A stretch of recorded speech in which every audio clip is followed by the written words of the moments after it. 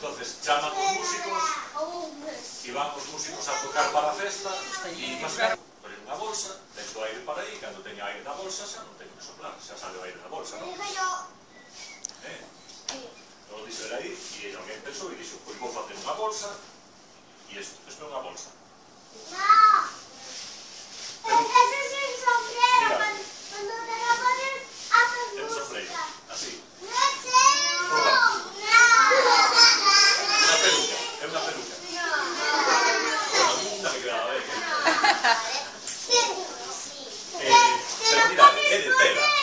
bolsas de tela cuánta con aire?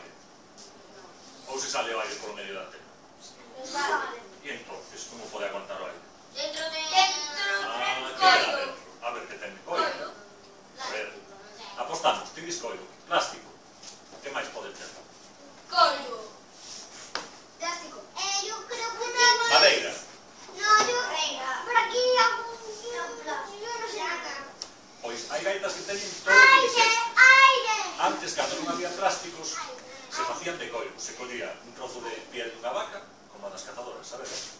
Entonces, a cosían, lle botaban dentro un líquido que facía que non perdera o aire e con eso se facía a bolsa da gaita. Despois, outra forma de facelo era usar unha cabra inteira. Unha cabra! Sabedes como son as cabras, non? Sí, Collían a cabra inteira, cando, cando mataban a, a cabra, a cabra, a cabra comían e sacaban a piel con moito cuidado para que non rompera.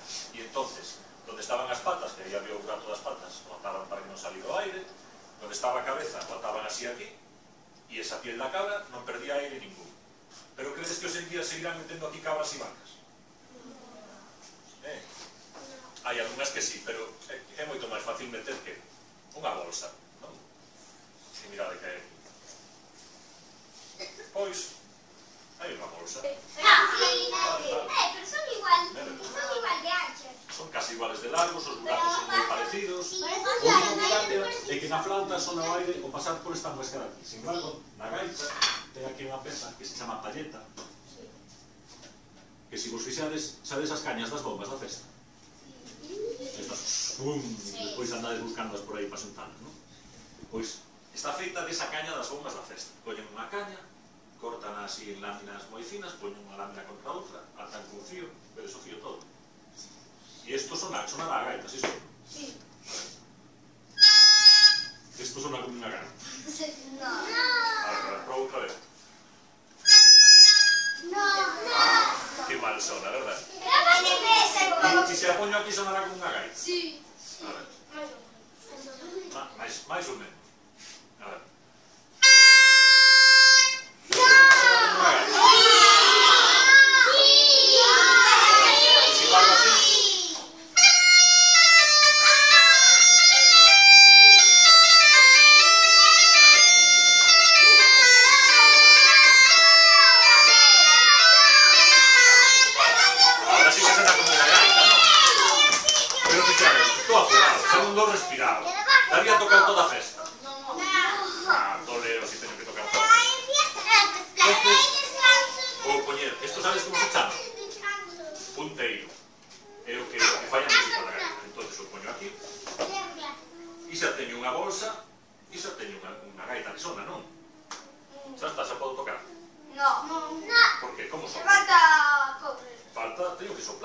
un soplete, non?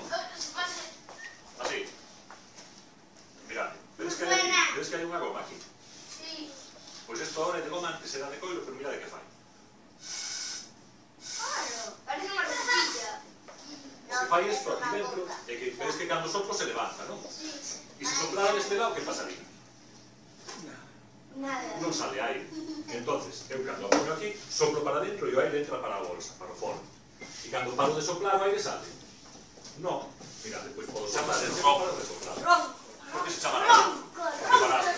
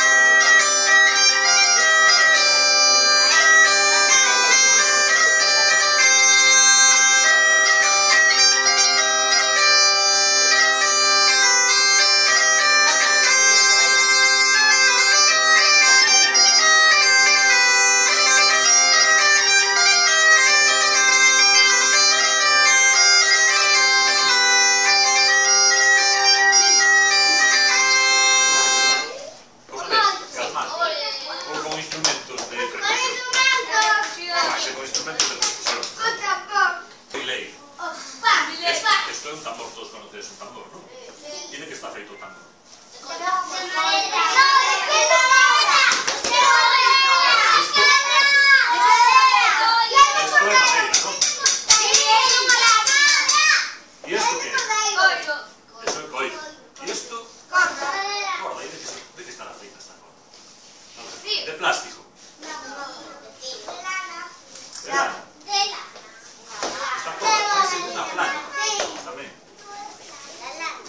alguna, alguna vez zapatillas que suena esta maceta así de corda? Pues es la misma corda que esta. Y esto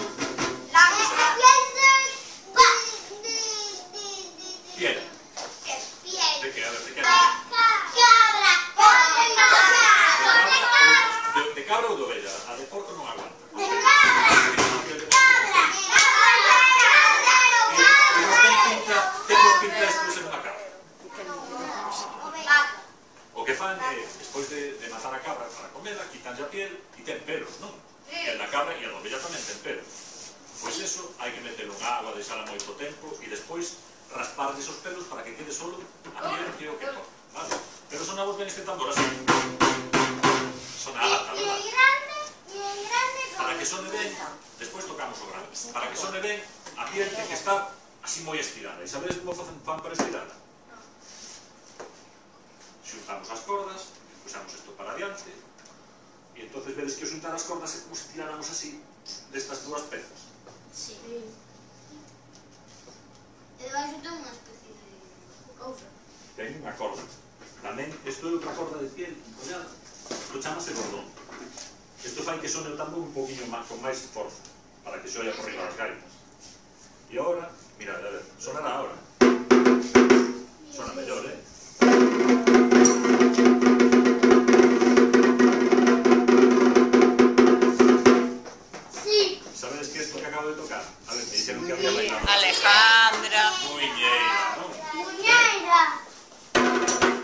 capaces todos de facer ritmo de muñeira